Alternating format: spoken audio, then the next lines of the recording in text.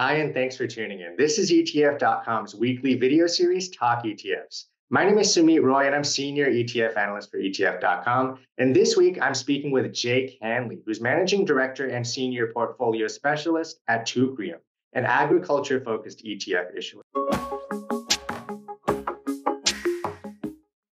Jake, great to have you on the show. Welcome. Thank you. It's nice to be here.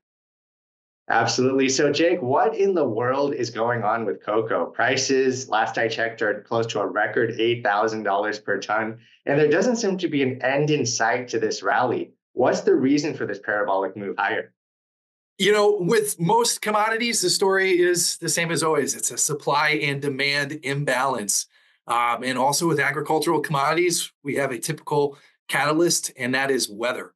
Uh, you can blame the current El Nino cycle for exacerbating production issues and weather related production issues, particularly in Western Africa.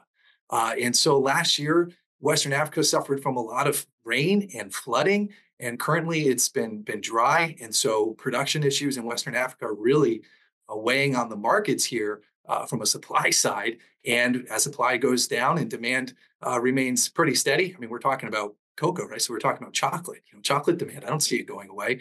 Uh, even during Lent, right, where, where some Catholics give up chocolate for Lent, uh, there's still chocolate demand out there. So uh, prices have been have been accelerating to the upside. And and you're right, we're looking at prices that, that we haven't seen before.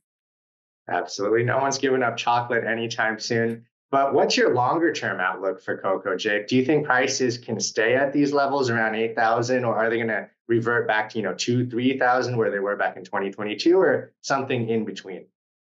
You know, it, eventually most agricultural commodities tend to go back toward their, um, to trade near their cost of production, right? So farmers, whether you're talking about corn farmers or soybean farmers or cocoa farmers, uh, farming's a tough business. And typically you're, you're making a small profit um, to keep your your crops competitive. And and certainly, I expect prices to come down eventually. It will likely coincide uh, with the fall time harvest, which happens in in Western Africa. Which, by the way, that area of the world accounts for over 70% of global cocoa production. And so, uh, usually, the harvest begins around October and extends through March. And so, I am anticipating, and the futures markets will show you this too. If you look at the futures prices out uh, toward the end of the year, that prices will will come back down as that harvest uh, picks up. What we're talking about that harvest is a new crop year, okay, and so there's a chance that the production uh, will be better uh, when it comes to the time to harvest that crop in in October through early next year as well. So. If weather cooperates and that harvest is successful, I fully expect prices will come back down, but we're not there yet. And so there's a near term supply demand problem. Hence, you have the, the near dated futures contracts, i.e., those going off the board in, in July this summer, for example, are trading at, at near record prices. So it kind of sounds like, Jake, you're saying that it's too late to capitalize on the cocoa spike. I, I want to talk about, you know, other commodities in a second, but is it too late to play this move in, you know, cocoa? Well, you know, I don't want to go on the record of saying that it's it's too late and that or to say, hey, there's still a chance and you should get in there. What I can point to, however, is the reporting that we get from the CFTC. And so we can see what professional money managers are doing. And what's most interesting about this last move, and by the way, we're talking about an over 40% move since middle of February. Okay. And during that time, the long position, i.e., the, the futures traders who are bullish, are taking long positions in these markets have actually been selling into this rally, okay, taking profits. At the same time, this significant rally, 40% in, in just a month's time, has caused the short sellers to start covering their shorts.